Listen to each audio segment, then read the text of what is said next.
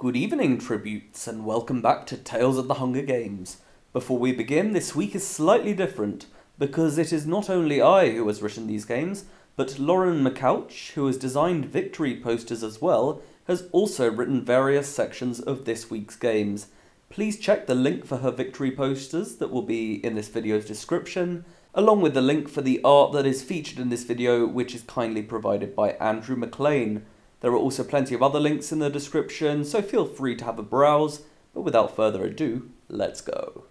This year's reaping in District 5 was widely considered one of the most eccentric of the year, something abnormal for District 5, who are usually the first to blend in.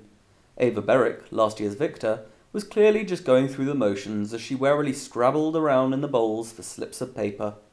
Withdrawing her hand from the male tribute bowl, she squinted to make out the tiny name printed on it. Marcellus Westinghouse, she read, and all eyes slowly panned over to a hulking young man of eighteen, scowling darkly at his misfortune. Years of operating heavy equipment in the power plants had built him like a carved rock, and more than one citizen recoiled as he silently trudged past and up to the stage. District 5 was usually quiet and tense, but this time one could hear a pin drop, while everyone in the crowd assessed if Marcellus had just woken up on the wrong side of the bed or if he was really going to put the peacekeeper next to him in a half Nelson and tell him what he thought of the games. Luckily for everyone involved, he did no such thing, and there was an audible sigh of relief a moment later as everyone realized Marcellus was not going to stir up any trouble. Even Ava could be seen inching away from his general direction. Still, she busied herself with drawing the female tribute next.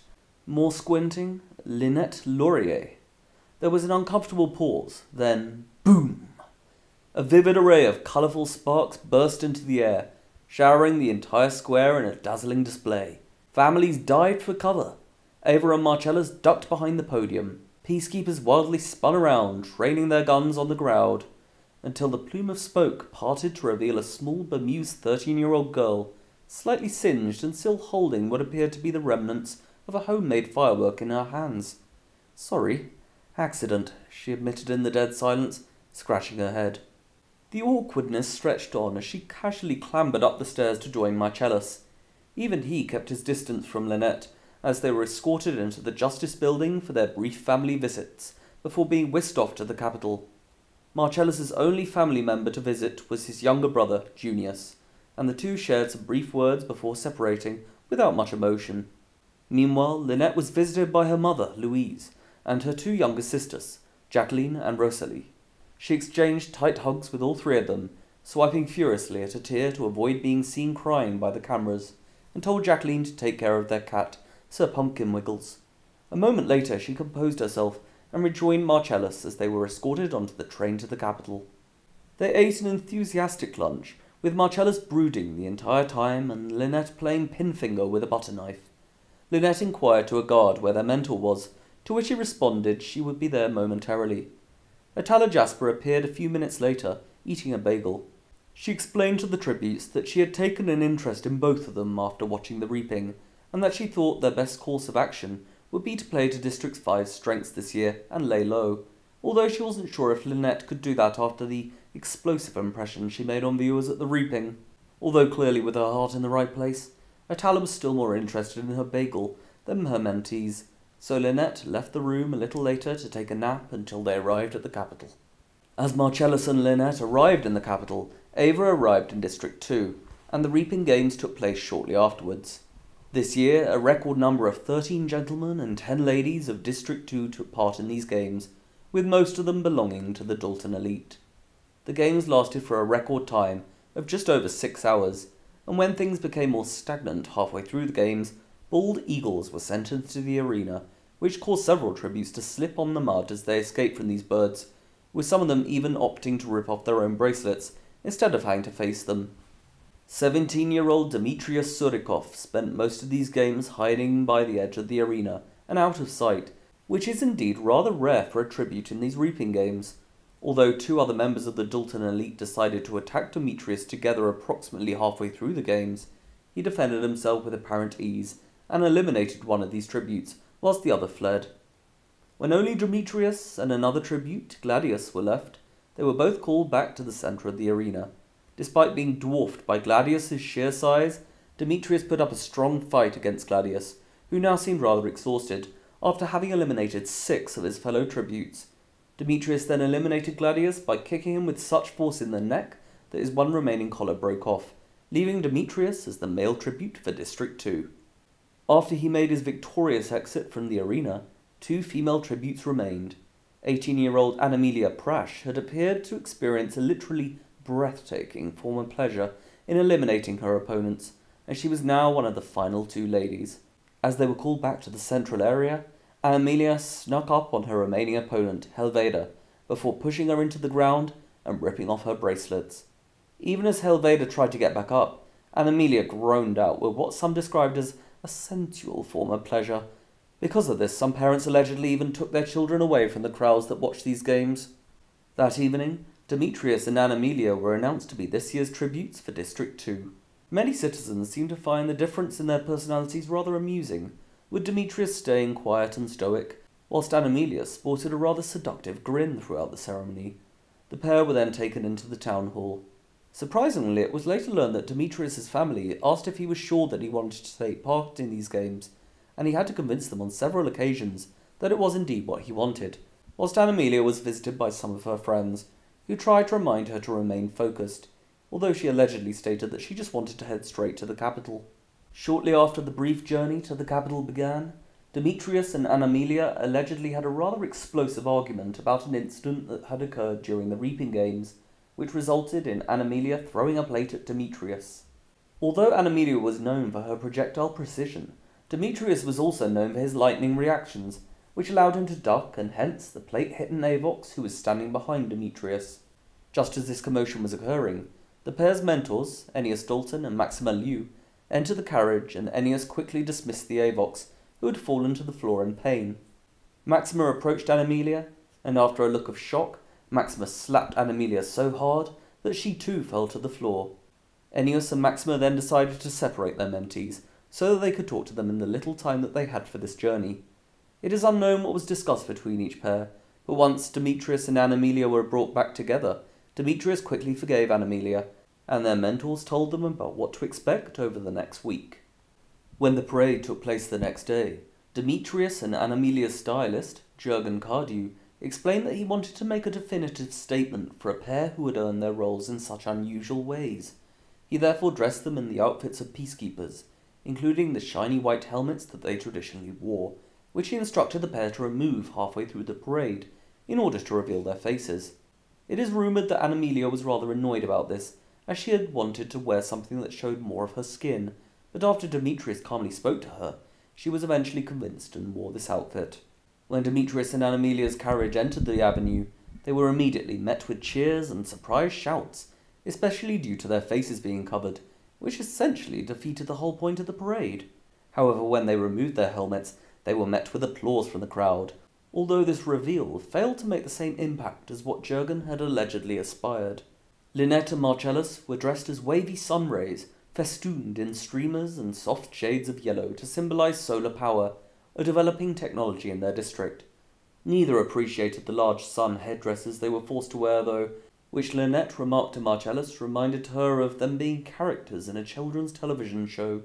Unfortunately, this year, their costumes did not make Anderson Fashion's best dressed, probably for this exact reason. Marcellus was beyond enraged at having to look like a circus pony in front of a large crowd, and so instead of raising their hands together, him and Linnet huddled and made a creative plan to spice things up. Using the small microphone she had been given to thank those throwing flowers at the tributes, Linnet waved her arms to get camera and audience attention. As their chariot started rumbling on, she grinned widely at the audience. Ladies and gentlemen, you've seen us as suns, but have you seen us moon? She swept her arm to the left to indicate Marcellus, who at that very moment turned around, bent over, and mooned the crowd. Immediately it erupted in hysterics as people both cheered and jeered the pair for their outlandish antics. Linnet bowed while Marcellus smiled vindictively. The cameras hastened to cut away for the sake of censorship, but the damage had been done. Other tributes looked on in total shock at this bold action, the careers in disgust and the outer districts in awe. They had certainly made an impression, if not the typical one District 5 tributes were used to making. However, despite this little interruption, the ceremony proceeded as normally as possible. Later, over the coming days, the incident would become memorialized in several Capitol magazines, already as one of the top moments of this year's Games, and much debate and analysis would be undertaken over the quality of Marcellus's rear on morning talk shows. However controversial a parade, it was certainly a night to remember. Yet it was District 7's tributes, Quercus and Nutmeg, who were awarded with the role of best dressed tributes in Anderson fashion, due to their fantastic arboreal designs, which saw their faces covered in the thick bark of oak trees. Demetrius and Anamelia quickly met Zircon and Pearl, both from one, and the quartet practiced their skills together. According to Training Master Crane, the career tributes got on surprisingly well compared to their former counterparts. Anamelia and Zircon practiced hand to hand combat, although this resulted in Anamelia pinning Zircon to the ground and straddling his groin, which resulted in training staff having to remove her when Zircon appeared to be in pain. However, Zircon soon appeared to forgive Anamelia, and he showed her how to use the spear, a skill with which she was less familiar.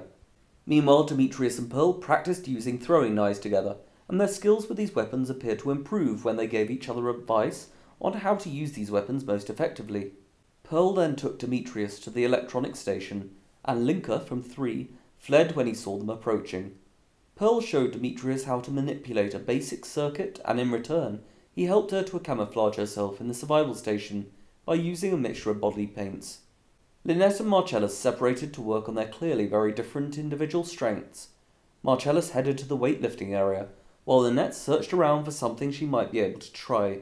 Eventually, she settled on the camouflage station, figuring that no matter what arena they might be in, she'd have to learn to blend in like Atala advised. The real challenge for her was going to be blending in after the earlier events, in which District 5 had done anything but. She worked with a camouflage trainer for a few hours, all the while associating with no one but watching everyone. Linnet identified, as usual, the careers throwing around weapons and generally being intimidating, but saw no other allies or merit other than her district partner. Disappointed, she sat alone at lunchtime and watched the careers trying to recruit an irritated Marcellus at another table, though he rebuffed them.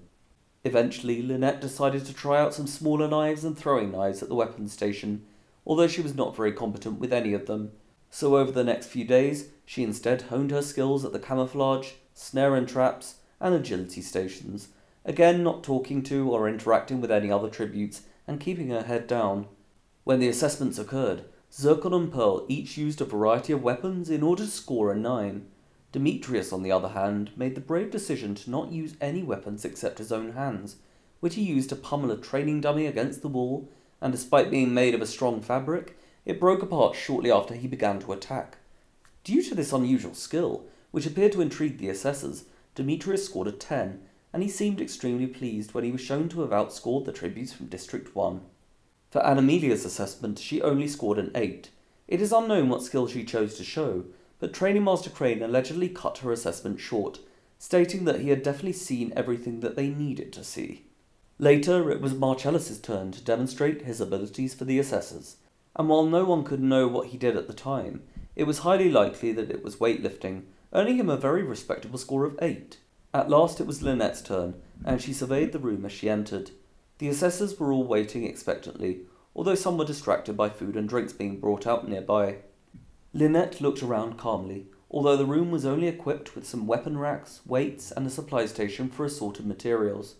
By now she had built up quite a reputation of going for the shock factor in these games, and to her it couldn't hurt to try again. She grabbed two training dummies from the back of the room and several paints from the camouflage section of the supply cart, swiftly painting the dummies to look like a male tribute and a female tribute. In red paint, she wrote the number 1127 on the male dummy and 1310 on the female dummy, before turning to the assessors and quietly stating that this was how many of each gender had died thus far in the Hunger Games, and how many people's blood was on their hands. Linnet did not wait for a reaction, but rather quickly wiped off her hands on a rag and left the room, leaving the scene to unfold behind her. Linnet was thoroughly unsurprised when she received a training score of 4. In fact, she knew she could use it to her benefit. As being a 13 year old tribute on the smaller side, most would not have expected her to score higher, and being underestimated was District 5's speciality. Whilst Demetrius and Damask from 8 had landed at the top of the pack with the highest scores of 10. Tinsel from 3 and Nutmeg from 7 had both landed at the bottom, with scores of 2. Tinsel also had the lowest odds at the time of the games, with initial victory odds of 99 to 1. The interviews took place the next day, with Eugenia Ravenstill starting the proceedings in style by wearing an extremely extravagant gown that was designed and created by last year's victor, Ava Berwick. This dress was once again made from shiny metallic wires that held against Eugenia's body, whilst the wires upon her shoulders had been sculpted in a way to resemble the tornadoes that had occurred in the last year's games. Eugenia was applauded by the excited audience, and as she went to take her seat, the wires of the dress slowly untwisted and unravelled to reveal an expanding ball gown of grapevines. The audience cheered even louder this time, and before the interviews began, Eugenia made sure to credit Ava, who was sat in the audience, for this fine creation. Demetrius and Anamelia were dressed in sparkling gold garments that exuded opulence. Demetrius wore a suit, along with a wreath made of dark green leaves, which he placed within his dark hair. Anamelia was allegedly delighted with her dress, and instead of choosing the dark green leaves that Demetrius had used, she placed golden leaves through her blonde curls, which matched the colour of her dress. After Zircon and Pearl's interviews had gone extremely well, with even their victory odds improving shortly after, it was time for Anamelia's interview. Eugenia questioned her on her reaping games, and asked why she had a habit of breathing intensely whenever she had eliminated someone, to which Anamelia replied that she was simply excited to be representing her district, and that she looked forward to putting on a splendid show within the games. Eugenia then admitted that she was indeed curious to see how Anamelia was planning to do this. Demetrius was questioned by Eugenia on his calm manner, and how he did not seem as excited as former male tributes from District 2 to be representing his district for the Games. Yet when Demetrius responded to Eugenia that he was excited, but did not necessarily need to show it in the same way as others, Eugenia jokingly gave the crowd a confused look, and said that she looked forward to seeing how excited Demetrius would become when the games began. Linnet and Marcellus were dressed to resemble their iconic moment at the parade. Marcellus was dressed in a golden suit, and his dreadlocks were woven with some of the streamers from the solar power costumes, while Linnet was given a dress that mimicked a real sunset, starting with a pale orange at the neckline and fading down into soft blues and purples at the skirt. Her honey-coloured hair, normally untamed, was brushed out and put into ringlets. Linnet appeared on the stage first, and the audience went wild for the sun-inspired outfits made for these tributes by their stylists. Eugenia greeted Linnet and the two exchanged some pleasantries before Eugenia decided to ask about the fireworks and mooning incidents. Although Linnet would not divulge any more information about these events, she did turn to the audience and declare, expect the unexpected, causing an uproar in the crowd. When asked a moment later about how she believed her odds to be, a very young tribute in comparison to most of the others, Linnet shrugged and simply stated that age didn't matter as long as one had brains, beauty, and booty. Just look at Bluebell Jansen, although she hastily added that she was joking a minute later. To Eugenia's displeasure, Marcellus was surly and in a bad mood during the interview, as usual, and only answered her questions with a few words at most. Despite his lack of stage presence, the audience still had faith in him as a strong but silent type, and he was politely applauded after leaving the stage. Overall, for the District 5 tributes, the interviews did not go at all badly this year. The next morning, the tributes were taken to the holding rooms beneath the arena. Before entering their tubes, they were dressed in plain white t shirts and black trousers, along with perfectly shiny white trainers. When Ennius visited Demetrius, he told him that instead of being wary of Zircon and Pearl, he should keep an eye on Anamelia instead, whilst Maxima told Anamelia that she should make sure to put on a decent show for the Capitol. Although it is unknown what Atala's said to Marcellus and Linnet, she is one of the few mentors to actually visit both of their tributes. It is unknown why so many of the mentors gave up on at least one of their tributes, but the lower scores of this year may have played a part in this common sentiment. The tributes were then placed in their tubes, and they rose into the arena.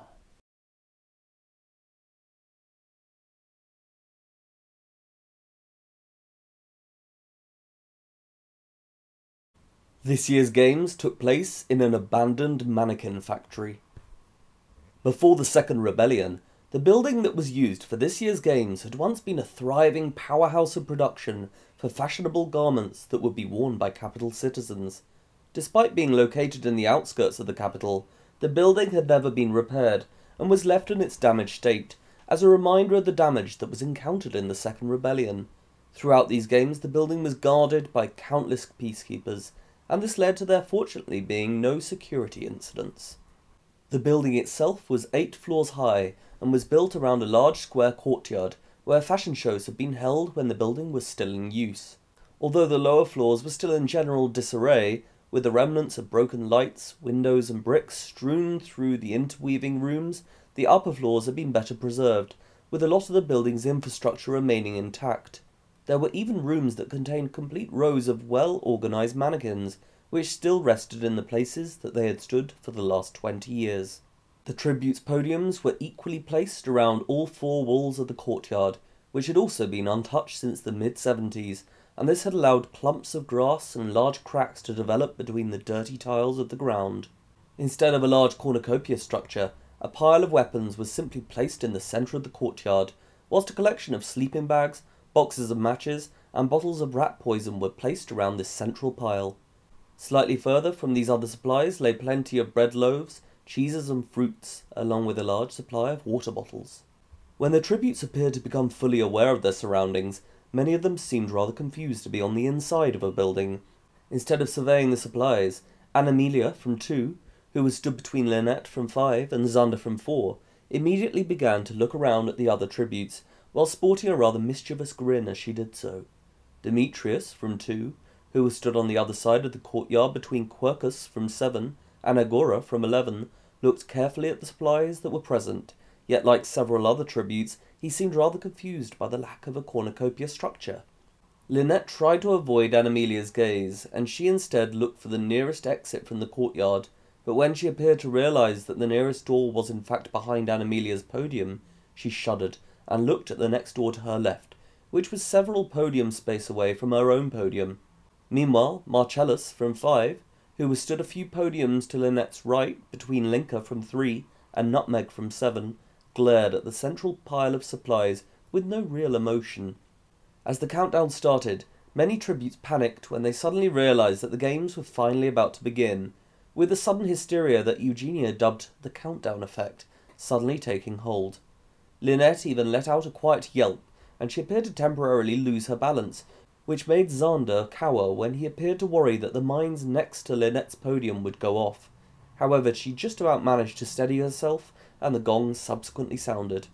Linnet immediately ran to the second nearest door, along with Tinsel from three, Quercus from seven, and Scaramanga from ten, who also ran to the nearest doors and into the building. But as Linnet ran, she tripped upon a crack in the floor and fell next to another podium. As Linnet looked up and noticed the carnage occurring in the centre of the courtyard, she seemed aghast with terror. But when she noticed Demetrius running his sword through the boy from Six's stomach, she got back up and ran straight into the building. Apart from the four who had run, all the other tributes ran straight into the centre of the courtyard, although many tributes simply tried to grab some food or water from the outer supplies before running away. After grabbing a loaf of bread, Marcellus looked ready to grab a weapon from the central pile, but when he saw Amelia standing on top of this pile with her bow and arrow at the ready, he quickly ran to his left, away from where she was facing, before looking for the nearest door.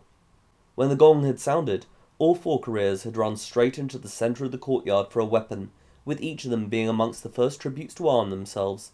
Demetrius had quickly grabbed a sword, but when he saw the boy from six going for a sword just meters to his left, Demetrius quickly ran across and stabbed him before he could even notice Demetrius approaching. He then looked around and seemed to defend the central pile of weapons from any other tributes who seemed tempted. As for Amelia, she had grabbed a bow and arrow before sprinting to the centre of the pile. She then started shooting her arrows as quickly as possible at any other tribute that she could. She once again seemed to be sensually breathing, and shooting her arrows quicker and quicker as she shot the boy from twelve and then the girl from four in the head.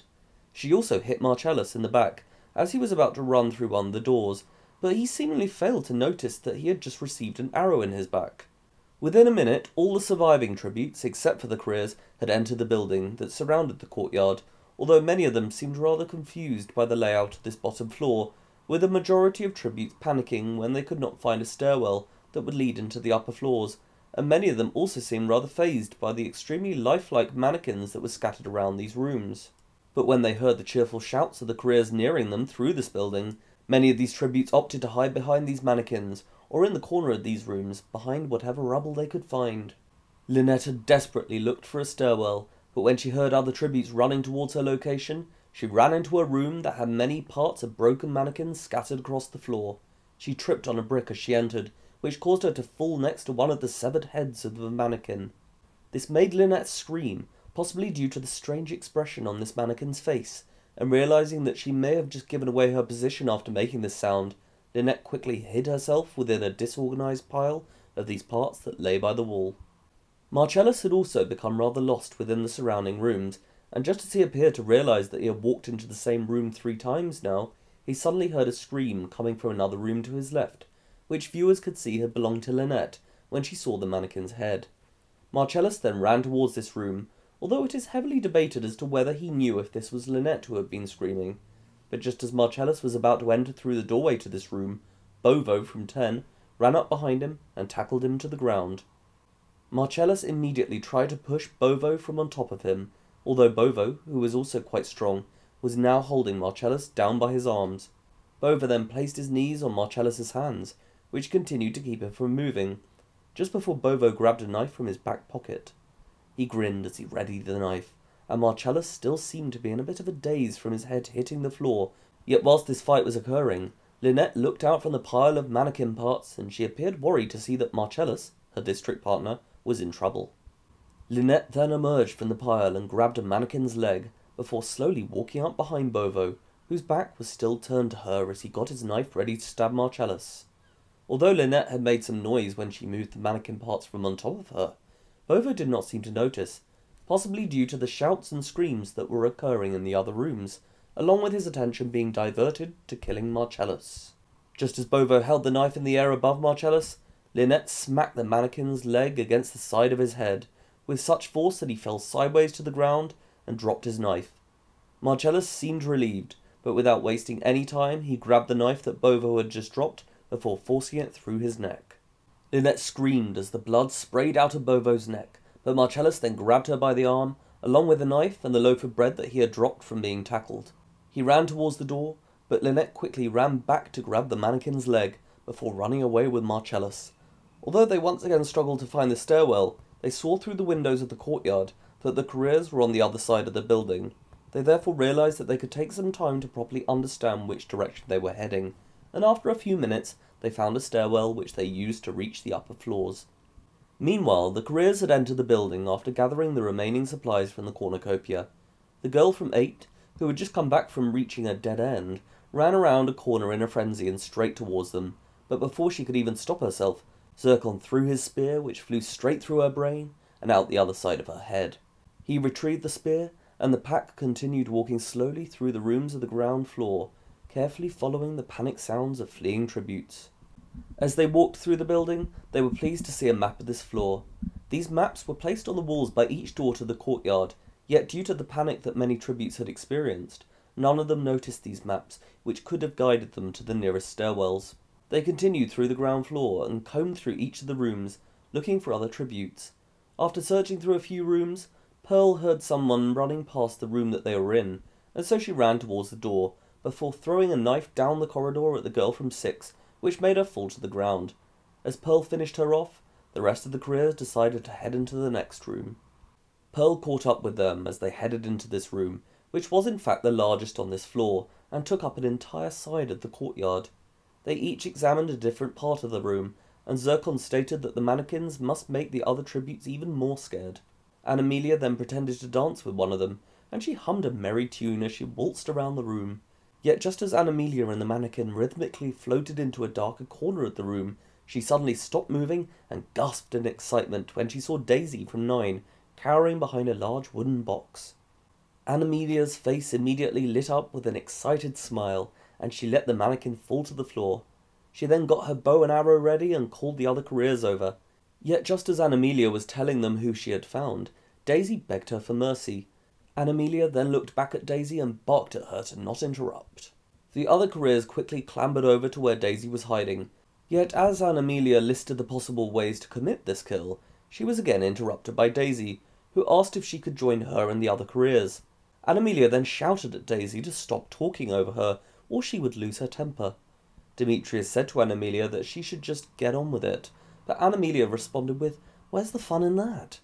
But just as she was about to start another sentence, Daisy begged out for mercy once more, which made Anamelia turn towards her and glare.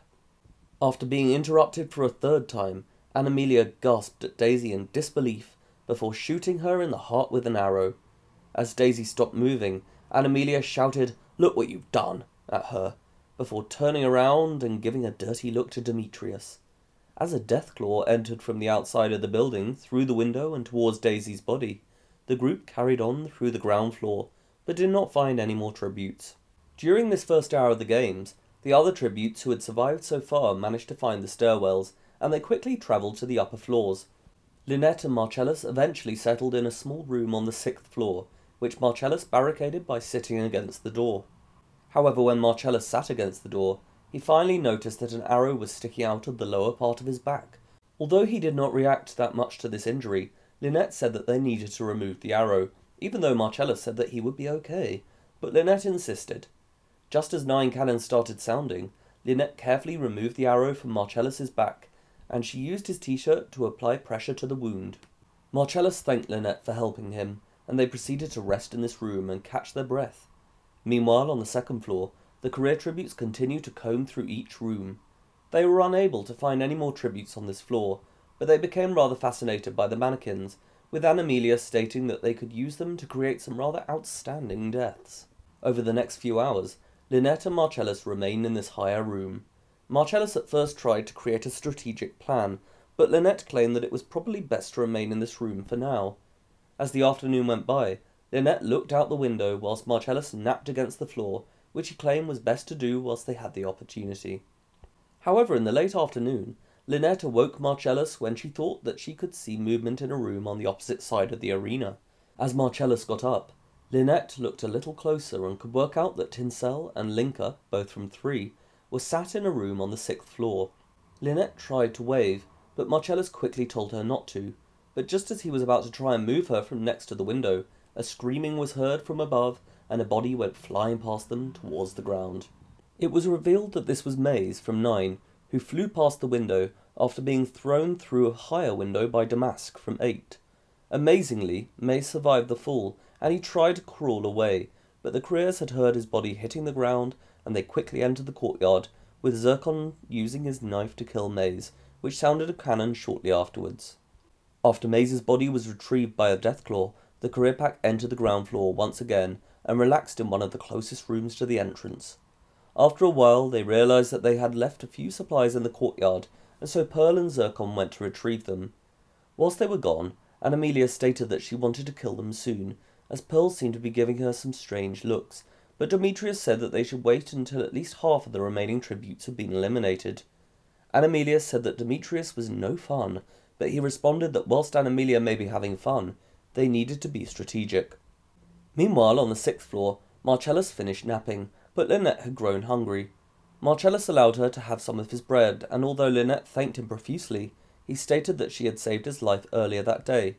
So this was the least he could do in return, but he also mentioned that they had no water, and that there appeared to be none within the building. They agreed to leave the room later that night and look for some water, but as they had this conversation, another cannon was heard.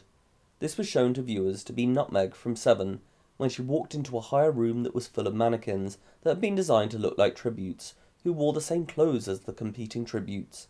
Nutmeg had apparently failed to notice that Scaramanga from Ten had taken the place of one of these mannequins, and when Nutmeg walked past her, she quickly took a knife from her pocket and stabbed it through the back of Nutmeg's head, which immediately killed her. As darkness fell, the careers ate some of their food and remained in the large room on the ground floor, with all their supplies now collected. As they ate, Anamelia picked up a mannequin and pretended that it was speaking, by using Daisy's voice, to imitate her pleas for mercy. Zircon appeared to be the only career to find this amusing, and the others carried on eating. Marcellus and Linnet agreed to rest in their room, but look for water and other supplies when the fallen were shown at midnight. Marcellus then sat against the door, whilst Linnet napped in a corner of the room.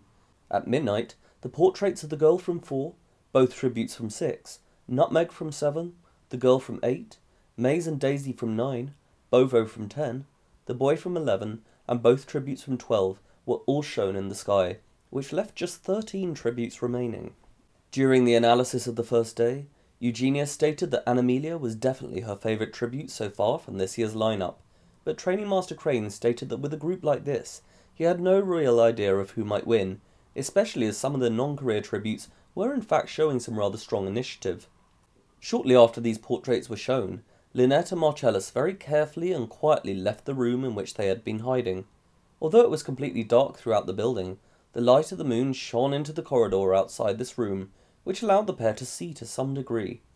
As a form of defence, Marcellus held the knife that he had taken from Bovo during the bloodbath, whilst Linnet still held the mannequin's leg at the ready. They very quietly walked through this corridor, and at first heard nothing but complete silence. Yet as they turned the corner along the next side of the building, Linnet gasped when she heard rustling and squeaking coming from along the ground. Linnet tried to pull on Marcellus's hand so that they could go back to the room where they had originally been hiding, but Marcellus quietly whispered to her that they should not be scared, and that these animals, which he quickly identified as rats, were more likely to be scared of them. Marcellus waited quietly as Linnet gradually released her grip on his arm and agreed to continue. They walked very slowly through the corridor, but when a rat scurried straight over Linnet's foot, she let out a petrified squeal, and in order to avoid this happening again, Marcellus quickly picked Linnet up with just one of his hands and placed her onto his back. They then continued through the corridor and looked into various rooms, although there appeared to be nothing inside these rooms except for the moonlit silhouettes of mannequins. After completely browsing through the sixth floor, Linnet suggested that they head down to the fifth floor, which Marcellus agreed to. He took her down the stairs and they roamed through the corridors of this floor. Once again, the pair encountered nothing apart from more mischiefs of rats and the blank stares of countless mannequins, although unbeknownst to them, they almost collided with Scaramanga, who was hiding in the corner of one of the rooms that they ventured into. However, after heading down to the fourth floor, they soon heard a quiet mechanical whirring, and after approaching this sound, they found a vending machine that so far appeared to be untouched. When they looked at the contents of the machine, Marcellus signed to Linnet that the food and drink inside must be old, but Linnet replied that it looked to be new. This sign language had to be interpreted by Eugenia, who also stated that due to the loud noises and hence levels of deafness in District 5, the children were taught sign language when they began school, which would allow them to communicate throughout their district. Linnet then signed that she would happily risk consuming some of the contents, and so Marcellus agreed that she could do this, although being from the districts, they seemed to be unaware of how this machine worked. Game Maker Whimsywick had actually ordered for some coins to be placed beneath and on top of this machine, which the tributes could use to pay for its products, but Marcellus failed to notice these and simply smashed his hand through the glass instead. The machine's alarm immediately sounded, and Linnet panicked, but whilst Marcellus pulled his hand out and examined the glass that was now embedded within his fingers, Linnet grabbed as much food and drink as she could from the machine, whilst the alarm blared on. Once Linnet had taken as much as she appeared capable of carrying, Marcellus grabbed her by the arm and once again placed her on his back as they ran away. The machine's alarm was heard throughout the building, with the careers quickly coming to the conclusion that it was a trap, and hence should not be approached, whilst the other tributes all stayed where they were and did not dare approach the area where this sound was coming from. As Linnet and Marcellus fled from the machine and hid in a small room on the other side of the fourth floor, many rats quickly flocked towards the sound of the machine, before climbing inside and either consuming or contaminating all the remaining food and drink. Marcellus and Linnet then rested in this room, and they were surprised to see that there was a small window towards the top of one of the walls, which led into the next room. When the alarm finally stopped ringing after ten minutes, they gleefully consumed some chocolate and cola. Crane also revealed that this was the only vending machine that had been provided in the arena, and so by allowing the rats to destroy the remaining food and drink supplies, the pair from District 5 had unintentionally made things much more difficult for their opponents, and they had therefore improved their own victory odds rather dramatically. After a while, Linnet agreed to take the first night watch whilst Marcellus slept, and they swapped halfway through the night, whilst the careers each took turns to keep watch in pairs, although they did not see any movement during the night. After sunrise the next morning, Linnet and Marcellus continued to rest in the same room that they had been before, and Linnet suggested that it could be a good idea for them to barricade themselves into this room with their food and drink supplies and wait it out, whilst the other tributes killed each other. Marcellus appeared to have no problems with this plan, and he continued to rest against the door. Meanwhile, on the ground floor, the careers awoke early and carefully made their way through the lower floors. Unbeknownst to them, The nearest tributes to the ground floor were Linnet and Marcellus, who were on the fourth floor. The career pack spent the morning combing through each of the rooms on the ground floor, then the second and third floors, but without finding any tributes. Anamelia tried to convince the group that they should quickly make their way up to the higher floors, where the other tributes were more likely to be hiding. But Demetrius had to tell her on multiple occasions that they needed to check these rooms first, so that they did not miss anyone. Yet when this group finally made it to the fourth floor around midday, they and practically all the other tributes were surprised and scared to see shutters suddenly coming down over the windows of both sides of the building, which left the corridors and rooms in almost complete darkness.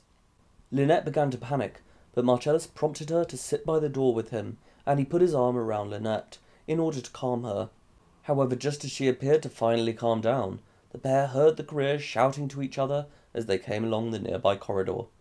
During this time, the careers suddenly became rather gleeful, probably because they realized that due to the blackout, it would now be easier to kill other tributes.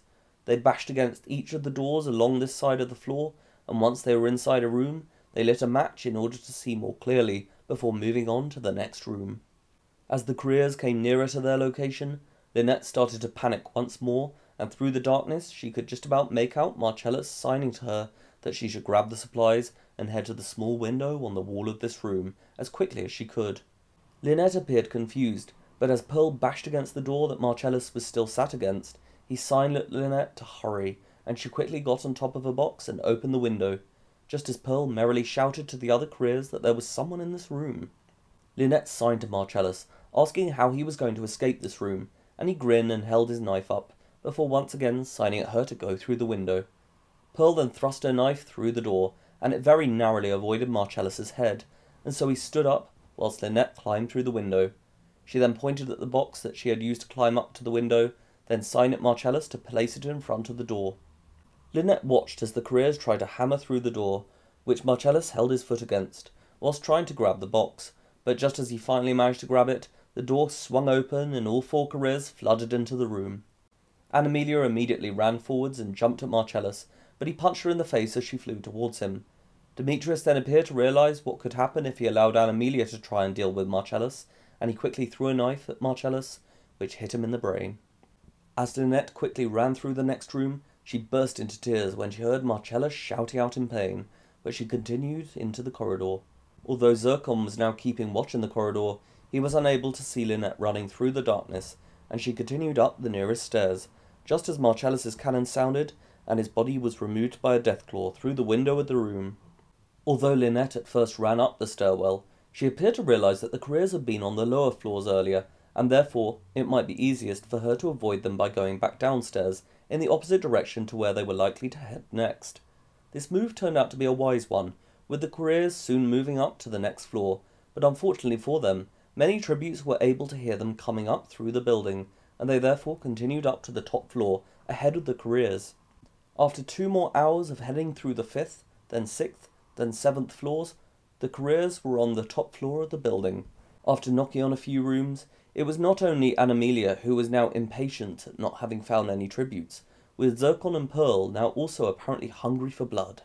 Viewers had seen that shortly before arriving on this floor, Agora from Eleven had fled from the sound of the careers and ran straight into the tribute mannequin room, where Scaramanga from Ten had been hiding. Although Agora had not spotted Scaramanga through the darkness, Scaramanga quickly hushed Agora, and despite not being able to see who this was that had been talking to her, Agora was quickly silent, and just like Scaramanga, tried to blend herself in amongst the mannequins. A few minutes later, the careers entered the room.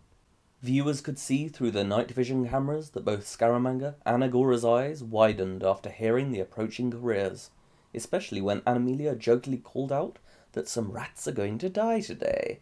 Yet both girls still managed to remain completely still. The careers each walked along different rows of the mannequins, and Demetrius pointed out that the mannequins looked exactly like tributes. Anamelia in particular seemed extremely captivated by the outline of these mannequins through the darkness, even looking Scaramanga in the eye, but failing to realize that she was not a mannequin. Demetrius continued along another row, where he walked straight past Agora. However, just as he was about to turn around, he looked back to Agora and eyed her very closely through the darkness, before saying to the other tributes that this mannequin looked exactly like one of the female tributes. The others laughed, but Pearl then came over for a closer look, and at that moment, Agora suddenly panicked and kicked Demetrius in the groin. A flurry of shouts and screams were heard as Demetrius and Pearl finally realized that Agora was not in fact a mannequin. Agora ran into Pearl and punched her in the face, but Demetrius quickly tackled Agora and bashed her head against the floor before Pearl ran her knife through Agora's head.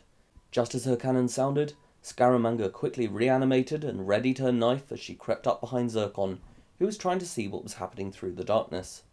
Scaramanga then stabbed Zircon through the back of the head, and as he shouted out and fell to the floor, Scaramanga stabbed him once again in the back of the head before running away. Zircon's cannon sounded as well, and the other careers shouted out in confusion as they tried to understand what had just happened, but before they could even regroup, Scaramanga had already crept out of the room and was now running down the nearest corridor. As suddenly as the windows had closed, they reopened, and the Deathclaw came in to collect the bodies of Agora and Zircon. The careers were somewhat blinded by the sunlight that came through the windows, and they quickly decided to leave this room and head back down to the courtyard, which they hoped would give them a better view of the surrounding floors over the next few hours. Yet almost immediately after the career pack re entered the courtyard, the sun began to set, and they were once again plunged into darkness. They continued to rest and look up at the surrounding corridors before discussing what they would aim to do over the next day. After deciding to head up to the highest floors after the next day's sunrise, another cannon suddenly sounded. It was shown to viewers that Linka and Tinsel, both from 3, had rewired some of the electrical wires on the seventh floor during the blackout, so that if someone were to try and turn on one of the light switches, they would receive an electric shock. But the pair then grabbed some glass from a broken window and waited on the seventh floor for someone to try and turn on one of the lights. The plan worked, and Quercus from seven received a near fatal electric shock, which left him yelling out in pain. As he tried to get back up, the pair from District 3 quickly found him, and Tinsel stabbed him in the neck, killing him instantly. Linnet spent the evening resting in a room on the second floor, and she still seemed upset by the death of Marcellus. She ate a little, but fell asleep shortly before midnight. The portraits of the fallen were then shown to be Zircon from 1, Marcellus from 5, Quercus from 7, and Agora from 11, which left a relatively low level of 9 tributes remaining.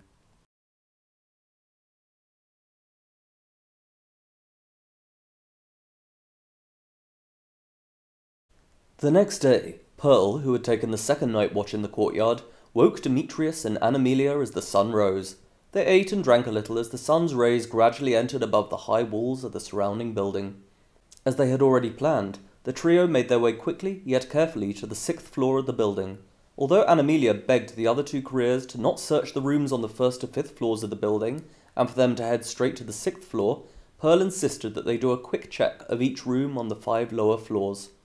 When they reached the second floor, Linnet was fortunate enough to hear the pack coming, due to Anamelia's rather loud rendition of a song about a puppet on a string. Although Linnet was clearly panicking at the sound of the approaching careers, she rapidly hid herself inside a wooden crate that had originally been used to store pre-made fabrics. The crowds in Snow Square jeered as Linnet tried to curl herself inside, but due to her smaller frame, the jeers gradually morphed into cheers when she had completely folded her body to fit inside this crate. Just as Linnet managed to fit her right foot inside, Pearl suddenly entered the room. The camera on the wall could show Pearl standing in the doorway and looking carefully across the room, whilst Linnet was holding her breath in terror within the crate. Yet after a quick visual examination, Pearl nodded and made her way back into the corridor.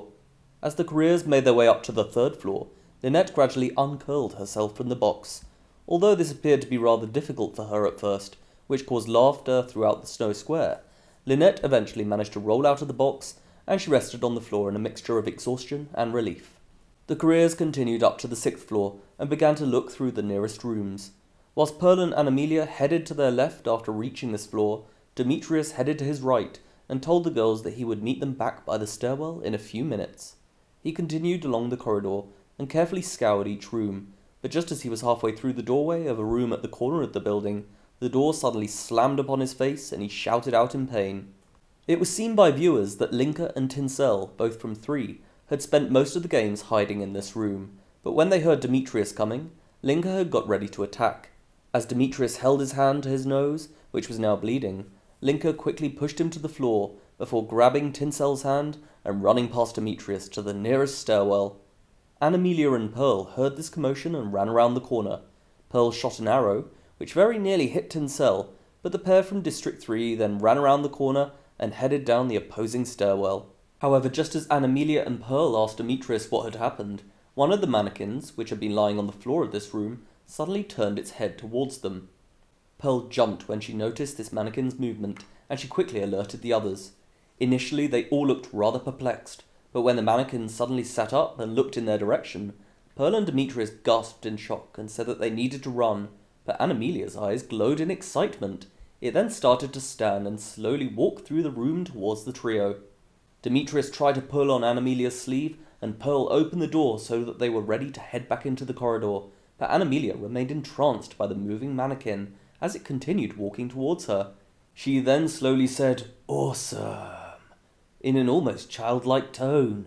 However, in an instant, the mannequin suddenly charged towards Anamelia. Within a split second, Anamelia's facial expression of admiration turned to fear, but it was too late for her to run. As she screamed, the mannequin used its hands to pick her up by her neck and strangle her. She tried to kick it in the groin, and Pearl shot an arrow at its head, but this did not weaken it in any way. Demetrius then gave Pearl a resigned look that seemed to indicate that they needed to leave, even though Anamelia was still screaming. Pearl shouted that she was sorry before running down the nearest corridor with Demetrius. Anamelia, who was now struggling for breath against the wall, screamed at Demetrius and Pearl for them to help her, before quickly changing to insulting them. Anamelia's final sentence was, You useless, sodding fuck! But just as she said this final syllable, the mannequin smashed her head against the brick wall behind her, with such force that her speech suddenly finished and her cannon sounded. Meanwhile, Linka and Tinsel were making their way down through the stairwell and were almost back in the courtyard, whilst Linnet was sat at the side of her room, braiding her hair. She was the last of the tributes to have a mannequin activated in her room, with game maker Whimsywick later explaining that one of these new types of mannequins had been placed in every single room of the building, ready for when this event would take place. The crowds in Snow Square started to shout at Linnet, who was now humming to herself as a camera on the wall in front of her showed a mannequin on the other side of the room slowly activating and standing up behind her. Although due to the volume of her humming, Linnet was seemingly oblivious to this impending danger. The mannequin's head rotated and it walked towards Linnet, who still apparently had no idea what was happening behind her. But when it was halfway across the room towards her, it tapped its foot against a brick, and Linnet suddenly twisted around when she heard the brick moving. She screamed as she saw the mannequin making its way directly towards her, and she frantically searched for a brick. Eventually, she found one and threw it at the mannequin. However, the brick flew straight past the mannequin and smashed through the window. Linnet panicked and managed to grab her bottle of water, but as the mannequin's speed suddenly increased, she got up and ran out of the door with her blood-stained t-shirt very narrowly avoiding the grasp of the mannequin. As Linnet ran along this corridor at the second floor, she was alarmed at the sound of a cannon, but made her way up to the third floor and hid in an empty room there. By this point, the activated mannequins had been deactivated, and they fell back to the ground. Yet as Linnet finally appeared to catch her breath and rest in this room, another cannon sounded. It was shown to viewers that when Linnet had thrown a brick at the approaching mannequin, it had smashed through the window and hit Linka, who had just run into the courtyard below with Tinsel. Although he was not killed immediately, he was quickly knocked unconscious and bled out within a few minutes. As for the second cannon, Xander from 4 had also been attacked by a mannequin on the seventh floor. He had managed to free himself from the grip of its arms, but he subsequently ran down a corridor and straight into the room where Damask from 8 happened to be waiting. Damask then grabbed Xander, and before the latter could even put up a fight, Damask had thrown him through the nearest window and he hit the ground in the courtyard, which led to him also dying shortly afterwards. Although Tinsel had been crying at the sight of Linka's body, she screamed in horror when Xander's body landed just meters from her, and she proceeded to run back into the building. Seconds later, Pearl and Demetrius re entered the courtyard, where they stayed for the rest of the day until the sun set. There were now only six tributes remaining, including them, but the pair seemed relatively trustworthy of allowing the other to keep watch over both of them. When midnight came, the portraits of Anamelia from two, Linka from three, and Xander from four were shown in the sky. On the morning of the fourth day, Linnet awoke within some broken mannequins, curled up in a ball. After the events of the previous day, it was clear that she was tired and wished to sleep, but she still got up and ate some cheese and grapes that she had found in the room.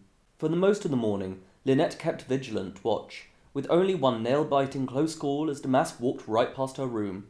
Bored by the general lackluster attitude in the arena this morning, and the wide scattering of the remaining tributes, Game Maker Whimsywick decided to spice things up, as the game makers tend to do.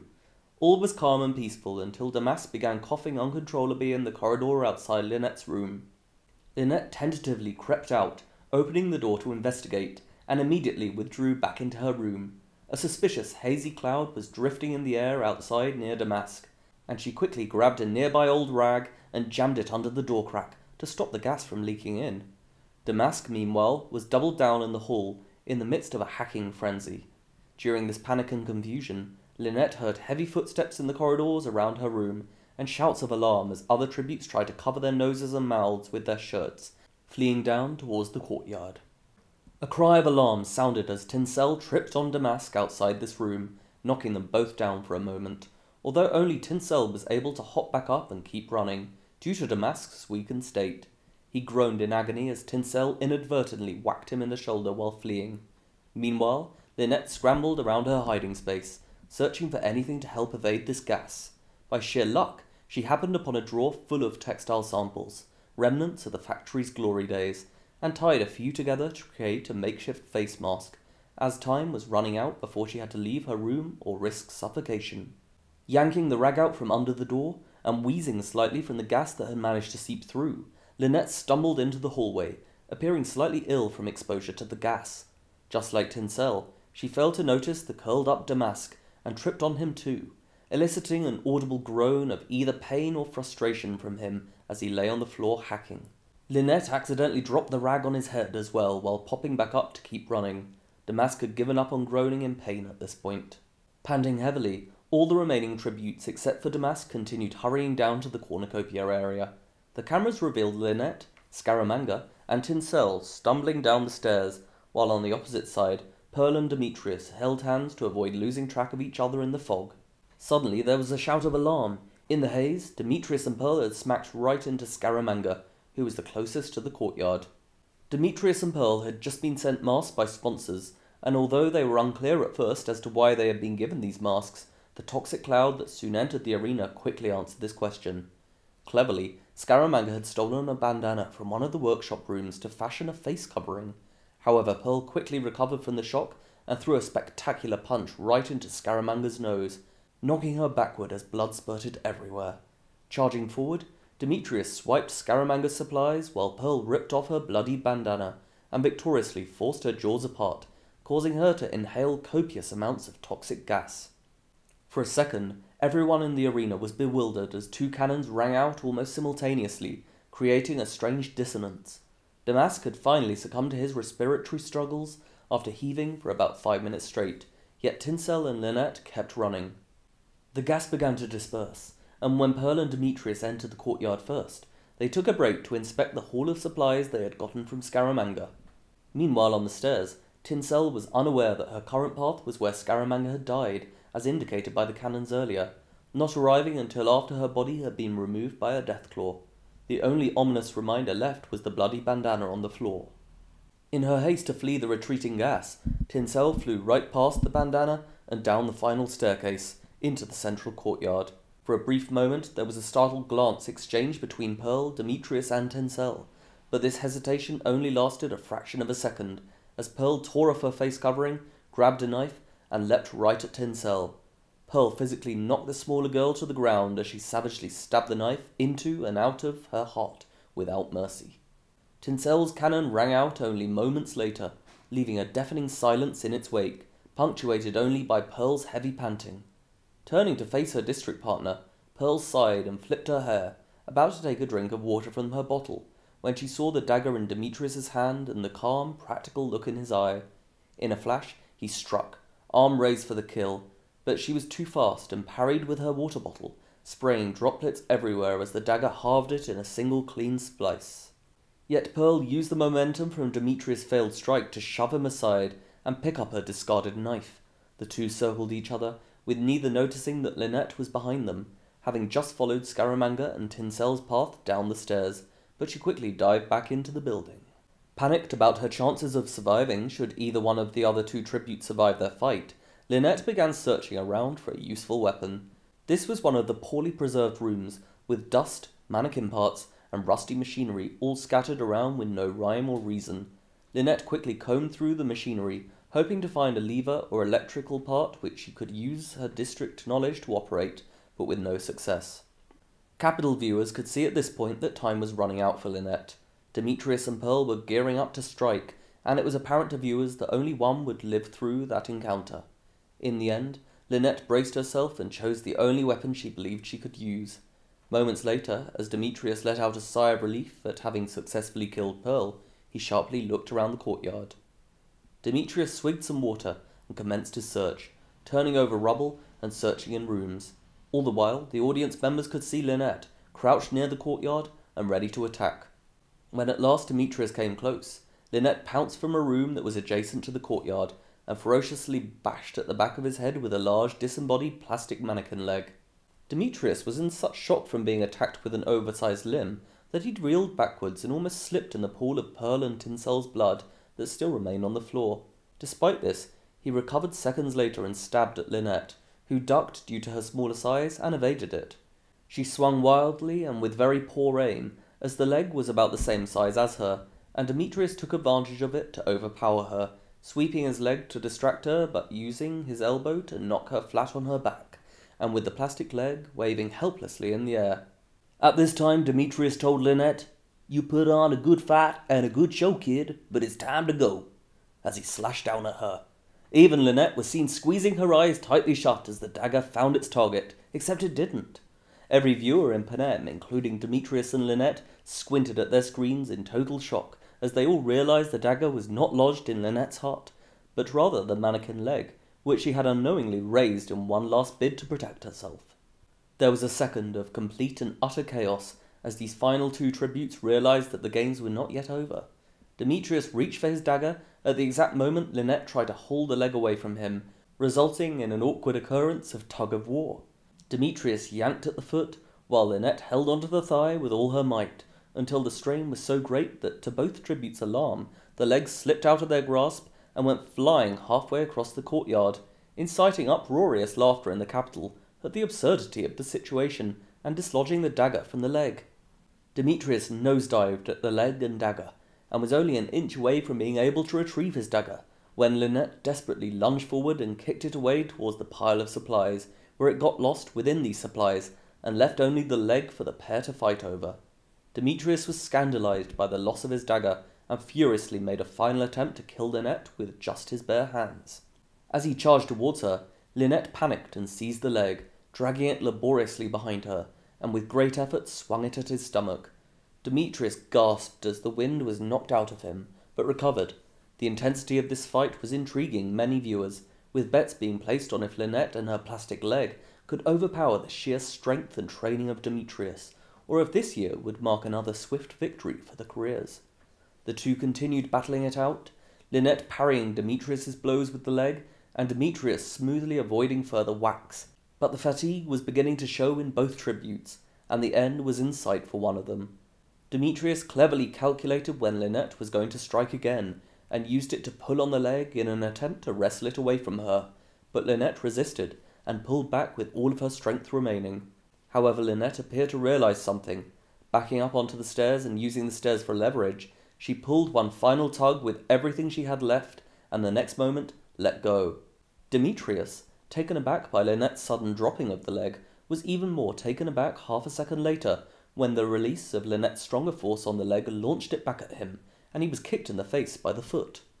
While this did not do much damage, it allowed Linnet to run down, seize the leg, and bashed Demetrius across the skull many times, sounding his cannon within a minute.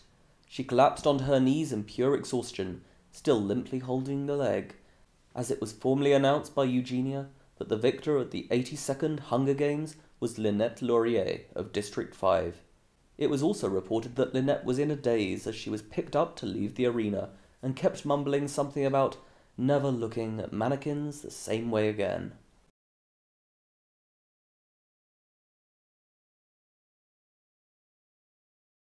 For her victor's interview, Linnet wore a light blue dress to match her eyes. Overall, she was composed and very frank, going back and forth with Eugenia about various topics. In her interview, Eugenia asked Linnet about a potential Victor's nickname for her, after all the excitement she had stirred up before and during this year's games. They debated over a few, such as Lightning Legs Linnet or Loopy Linnet, but eventually settled on the much more catchy Miss Mayhem. Eugenia also asked why Linnet chose to mix in both elements of District 5's typical sneakiness with some of her more memorable moments when competing, to which Linnet responded that she didn't know the answer herself and would rather like some dinner. The Capitol crowd was overall startled but amused by Linnet's strange antics on and off the stage, and she returned home to live as a mentor to future District 5 tributes. Linnet never married, and when asked about marrying or having children, she responded simply with, ew, but eventually adopted a daughter, Starling. They would go on to live happily with her mother, sisters, and Sir Pumpkinwiggle's descendants in the Victor's village of District 5.